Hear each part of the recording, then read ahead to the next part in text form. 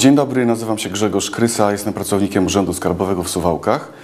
Y, Chciałbym Państwa dzisiaj przekonać do tego, że warto jest składać dokumenty, deklaracje czy zeznania roczne za pośrednictwem internetu, za pośrednictwem oficjalnej aplikacji Ministra Finansów, y, tak zwanej aplikacji e-deklaracje. Chciałbym Państwu pokazać, że jest to naprawdę proste, bezpieczne i dość szybkie. W następnej części programu pokażemy na przykładzie kilku dokumentów, jak y, dokonuje się wprowadzania takich dokumentów do systemu i że jest to proste. Jakie są korzyści? Bo na pewno takie pytanie się pojawi, czy warto, dlaczego i po co się w to bawić. Korzyści jest kilka. Mm, Po pierwsze czas.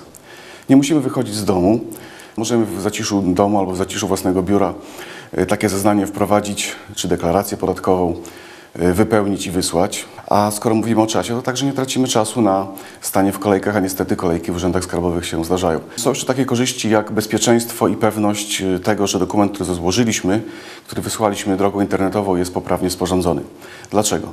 Otóż dlatego, że system y, w naszym imieniu przede wszystkim dokonuje większości przeliczeń arytmetycznych, które pojawia, których konieczność pojawia się w systemie.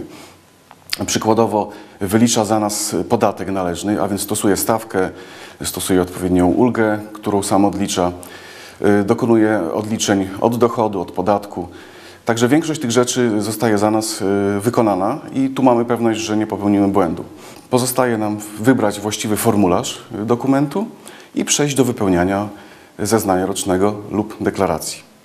Szanowni Państwo, czas więc na zajęcia praktyczne i na praktyczny pokaz, jak to zrobić.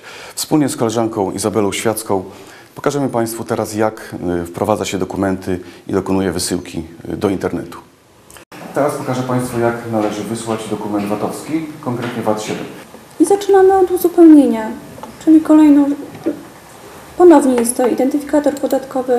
Czyli? W przypadku osób, które e, są VAT-owcami, jest numer NIP-u.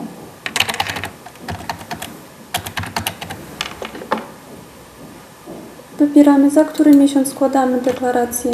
W naszym przypadku to będzie grudzień 2013. Wybieramy z listy urząd, do którego kierujemy deklarację. W naszym przypadku będzie to złożenie formularza i będzie to osoba fizyczna. Zaznaczając osobę fizyczną, musimy uzupełnić nazwisko, imię i datę urodzenia.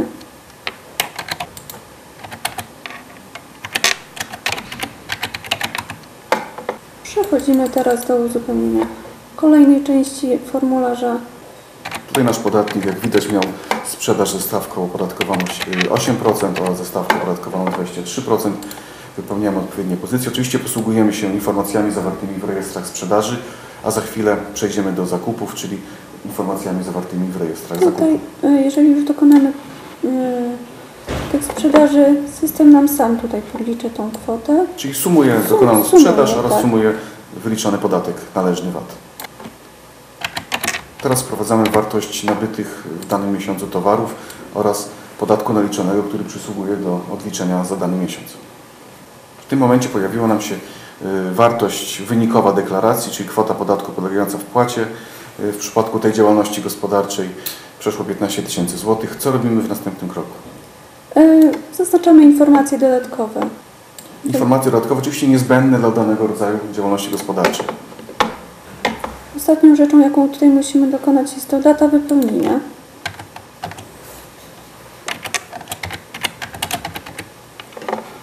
I tak mamy uzupełniony formularz, Może sprawdźmy, czy jest poprawny. możemy sprawdzić. Tak, dokument jest poprawny.